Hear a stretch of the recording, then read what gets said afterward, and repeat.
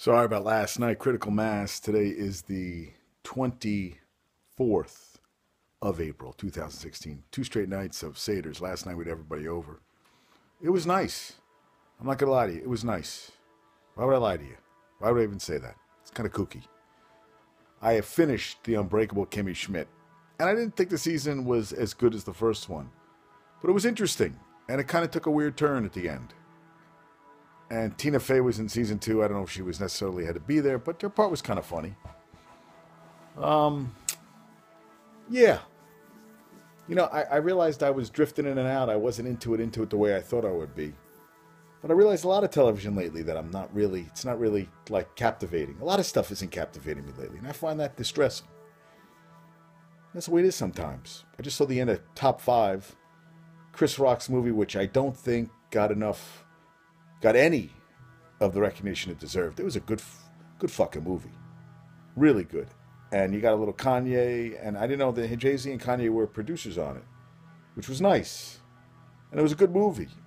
He's good. I like him. I have right now. I've on uh, Thief, which Rotten Tomatoes got a 69% to, which is a crock of shit. movie's not 69%. It's a top 80, 85%.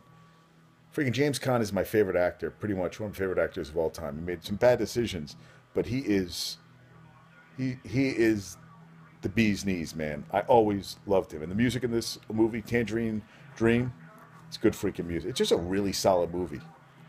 It's a really good movie. I highly recommend it. Same guy did Heat, same guy did Ali. I'm blanking out freaking names today. It'll come soon enough and I'll be able to tell you who did this movie and I'm embarrassed that I didn't. But I feel like I lose I lose memory a lot. It was funny today. We uh, made some cookies and made Michael Mann. We made, see, it came to me on the television because I can't remember any of this shit anymore. We made uh, cookies and bread today, and I did not. We had a birthday cake for a couple people's uh, birthday. My mom's birthday, my uh, friend, my Daryl's birthday, and it was Michael's birthday. So for all three, we had a birthday cake, ice cream cake. Didn't have any. Still haven't had any dairy. Had one piece of matzah. I've had some. I, I did have some uh, wheat products, and my eyes have been itching. So I'm going back to none of that stuff. And I thought, yeah, I felt a little difference. A little itchy, a little that. Tomorrow back to the grind.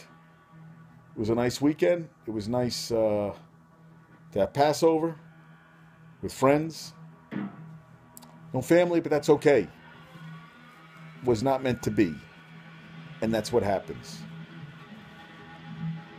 Well, no, it was family. My parents were there. What am I talking about? It was fine. Yeah, it was good. The family I wanted around was around. That's all that matters, right?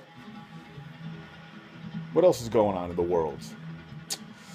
Oh, I saw something today. Norwegian Cruise Lines has a specific 245 people can get the, and I can't remember, I, I forget what they call it, the Haven. I think it's called the Haven and they they get VIP to all events, and they get the uh, board and exit the plane before everybody else. Have their own pool. Basically, they don't have to deal with anybody, so they're paying a lot more money. I think uh, 24-hour butler service, all that stuff.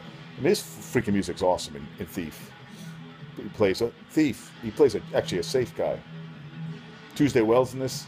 James Belushi. It's a great, fun. great 81, I think. James Caan's just like cool, just cool. That's what he he he has essence of it doesn't it oozes out of him. You know, like in that Seinfeld joke, Jacqueline and Anthony.